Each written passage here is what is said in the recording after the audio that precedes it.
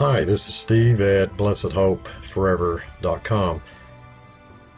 I'm uh, working now on preparing uh, my next video on Romans, but I've been in the Old Testament, and so I wanted to pass something along that I feel that might be of interest to some of you. I've uh, showed you through Romans as well as Ephesians and in numerous other videos how that we are God's sheep, we are His people, and that we have returned unto the shepherd and bishop of our souls that we were lost sheep that our Lord left the, the 99 to find the one that was lost, and that we never were goats, but that we have always belonged to Him, and that God remains faithful even when we are not, that He came to seek and to save that which was lost. He came into the world to save His people from their sins. So bear with me as we travel back in time 4,000 years to a world still in the infant stages of civilization. I want to cover quite a bit of territory, but I, will try to be brief and to the point. Now the Lord said unto Abram, Get thee out of thy country, uh, that being the uh, the city of of uh, Ur or Ur, and from thy kindred and from thy father's house unto a land that I will show thee. And the Lord said unto Abram, Lift up now thine eyes and look from the place where thou art northward and southward and eastward and westward, for all the land which thou seest to thee will I give it, and to thy seed forever. And I will make thy seed as the dust of the earth, so that if a man can number the dust of the earth, then shall thy seed also be numbered. Genesis chapter 13. When Abraham's descendants had multiplied to the extent that they could be considered a nation, they unfortunately found themselves living lives of slavery in the land of Egypt due to famine. But the Lord saved the lives of all of his people using Jacob's son, Joseph. Second only in authority to Pharaoh himself. It wasn't long after Joseph's death, however, that the Egyptians began to fear the Jews. They were an imagined threat to Egyptian autonomy. Uh, the Egyptians began to persecute them and put them into forced labor camps. Then comes Moses and his brother Aaron.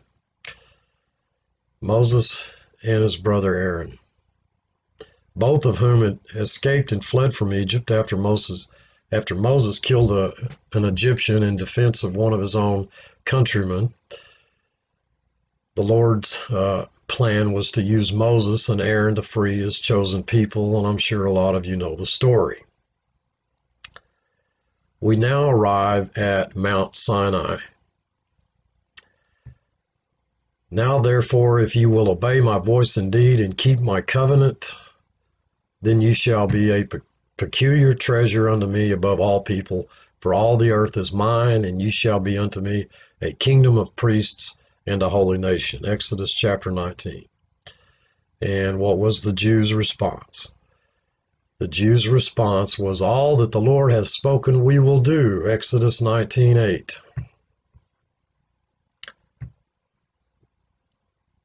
God said through Moses that if Israel would simply obey his words, then everything that was promised to Abraham in the beginning would finally be fulfilled for the entire nation.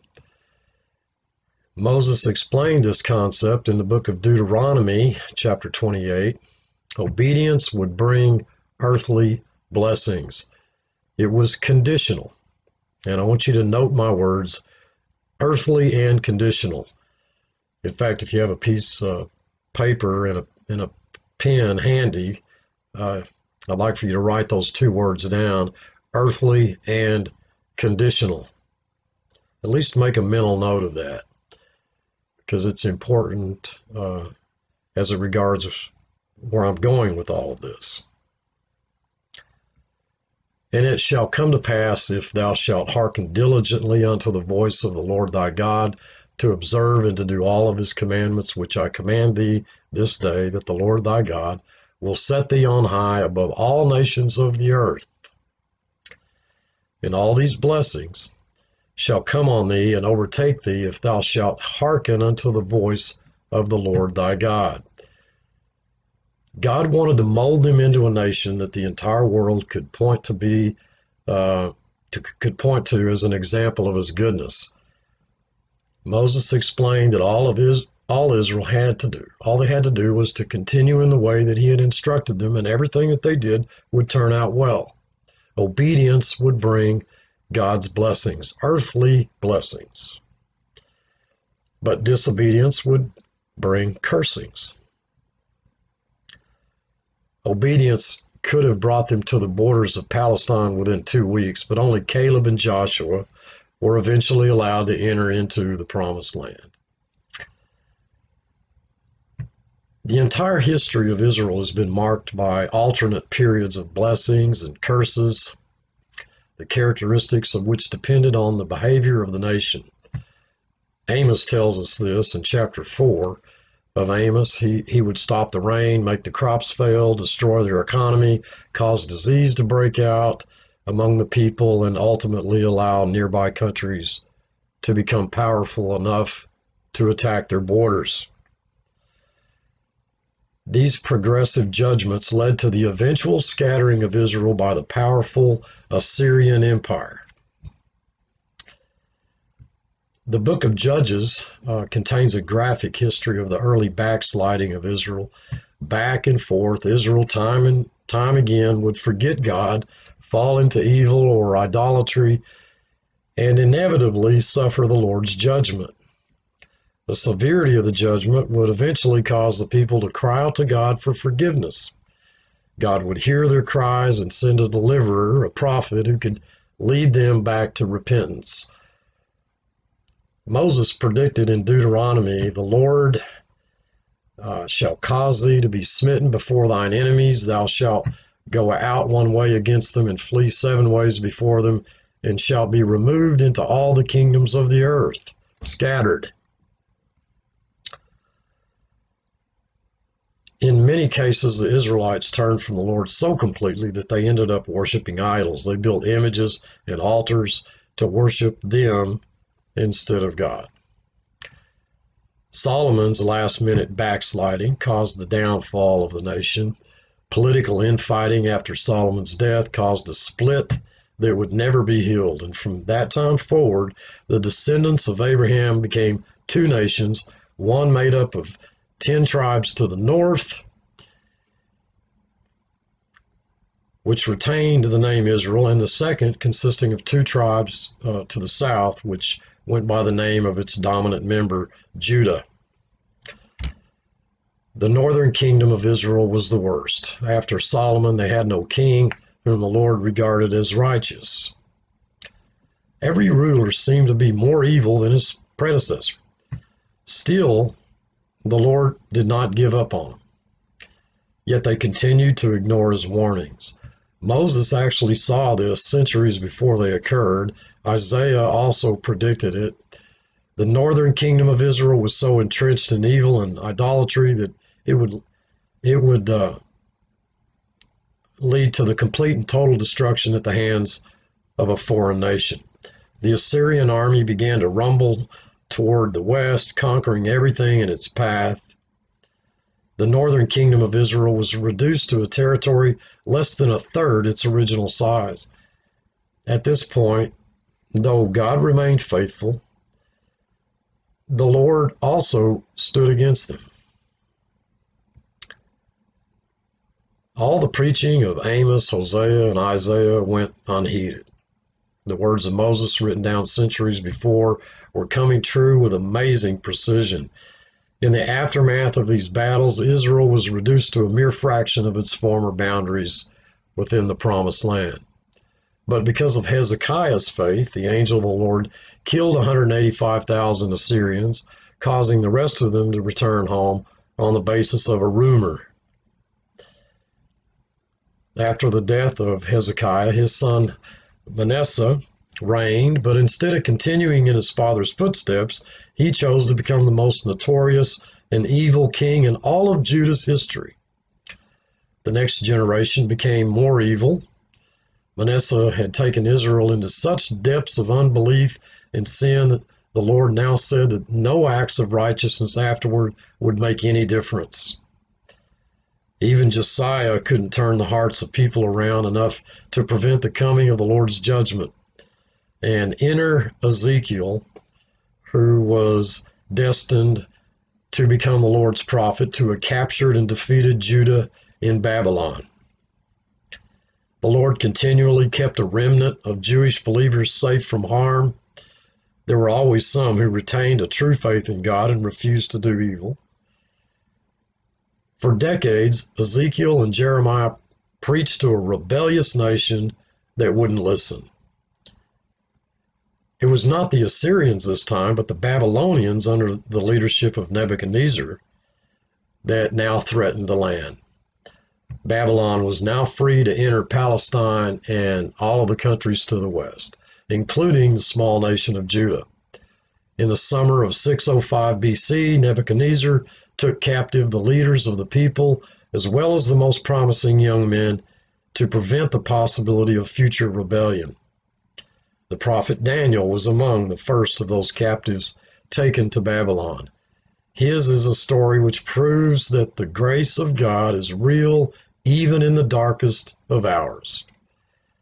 Daniel's witness to Nebuchadnezzar made clear that a higher power was really in control. Judah ignored its prophet Jeremiah and sought to purchase weapons of, uh, from Egypt rather than seeking protection from the Lord. Nebuchadnezzar had no choice but to attack again. The prophet Ezekiel was taken, held captive in Babylon, though most of the nation was now scattered away from the promised land the Lord still had every segment of the Jewish population covered by a prophet. Ezekiel among the captives in Babylon, Daniel in the very court of Nebuchadnezzar, and Jeremiah remaining in Israel. Yet, for all practical purposes, the country of Israel no longer existed.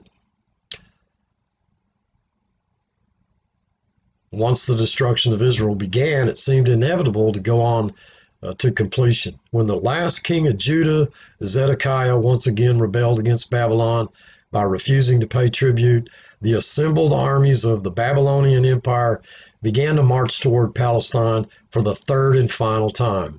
Two years later, in 587 BC, after an extended siege by the Babylonian army, the walls were breached and the city of, of Jerusalem was sacked and the temple was completely destroyed, just as Jeremiah and Ezekiel had predicted. The people of Judah who survived the attack were led away captive in, in mass uh, to live lives of slavery in Babylon.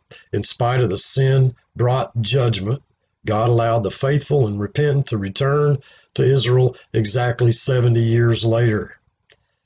But things would never be the same as they were during King David's reign.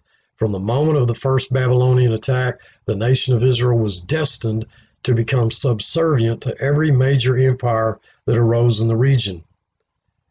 The Babylonians, the Persians, the Greeks, and the Romans would take turns controlling the land, the only exception being the relatively brief period of semi independence as a result of the Maccabean revolt in the middle of the second century BC. In 63 BC, the Roman army successfully battled their way to the gates of Jerusalem. And by the time Jesus arrived on the scene, Roman control had been firmly established in the land by Herod the Great. Many were hoping that the Messiah would immediately free them from Roman rule and set up the kingdom of God. That wasn't going to happen.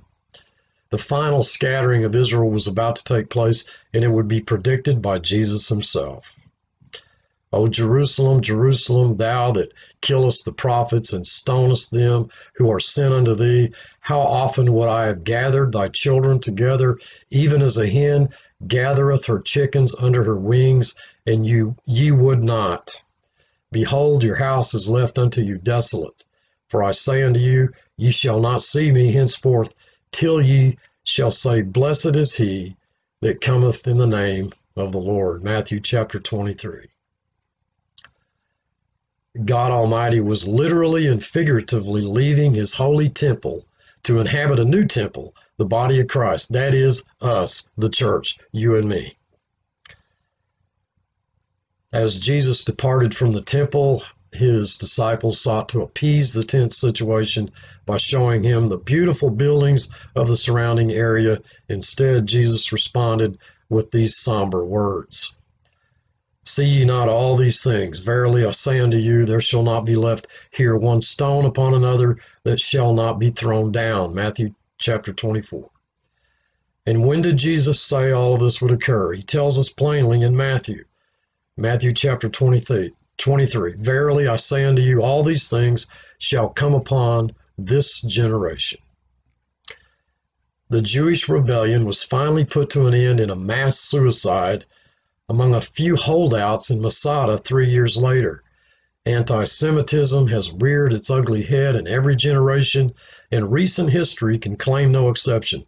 The fulfillment of Moses' prophecy was found among the dead in the German concentration camps of World War II.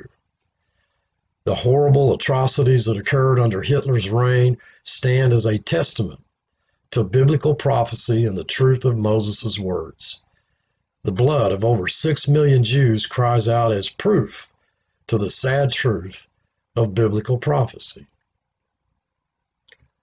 While God desired to bless them beyond imagination, Sadly, Israel brought the curse upon their own heads because of their continued rejection of the love of God and His Christ. God set Israel aside in unbelief. The Bible says that they shall remain in this state until the day that they repent and turn to Jesus in faith and truth. He also promised, prophesied of a future regathering of Israel, which would happen at the end of the age. We've we know this to be the rebirth of Israel in 1948. In the book of Jeremiah, these words can be found For lo, the days come, saith the Lord, that I will bring again the captivity of my people, Israel and Judah, saith the Lord, and I will cause them to return to the land that I gave to their fathers, and they shall possess it. Jeremiah chapter 30. Isaiah had much to say about Israel's future rebirth as a nation. In chapter 43, of Isaiah, the Lord says that no matter how far away his people may be scattered, he will still be able to bring them back. God brings back his people from where they are scattered. You can write that down if you want to. Take a note of that. Fear not, for I am with thee. I will bring thy seed from the east and gather thee from the west. I will say to the north, Give up, and to the south, Keep not back. Bring my sons from afar and my daughters from the ends of the earth, even every one that is called by my name. Ezekiel also prophesied of the day that Israel would return. He, likened them to a wandering flock of sheep that had strayed away from their shepherd. And the same is true of his people, the church. Behold, I, even I, will both search my sheep and seek them out. I will seek them out, as a shepherd seeketh out his flock in the day that he is among his sheep that are scattered, so will I seek out my sheep, and will deliver them out of all places where they have been scattered in the cloudy and dark day and I will bring them out from the peoples and gather them from the countries, and I will bring them to their own land. Ezekiel chapter 34. How can anything be stated more clearly? And now here we are, the church, where God has reversed the entire process of obedience brings blessings, disobedience brings curses. That's old covenant, earthly, to a people comprised of Jew and Gentile both, who are obedient, not so that they might be blessed, but because they have been blessed with every spiritual blessing in the heavenlies in Christ. God says, I will reverse the process. They shall obey me because they have been blessed, except in their case, with spiritual blessings, not earthly. We are in the world, but we are not of the world. The world is not our home all spiritual blessings in heavenly places in Christ all spiritual blessings in heavenly places in Christ. And yet, despite this reversal from law to grace, the religious system has become, for the most part, just as Israel was, trying to appease God under the same old covenant blessing and covenant program that they failed to uphold, uphold, that Israel failed to uphold, but with the same view in mind earthly, not heavenly, law instead of grace, whereas Israel ignored the law, the church ignores God's grace. All the law ever did was condemn and show our sinfulness. And by believing it must succeed where Israel failed, it is blind to the very fact that it is God who is faithful toward his people despite their unbelief, that it is God who seeks and saves that which is lost, the sheep of his pasture, that no man seeks after God, but that all have gone astray and together have all become useless and unprofitable. While the covenant has changed from old to new, man's heart and attitude toward a gracious, loving God has not.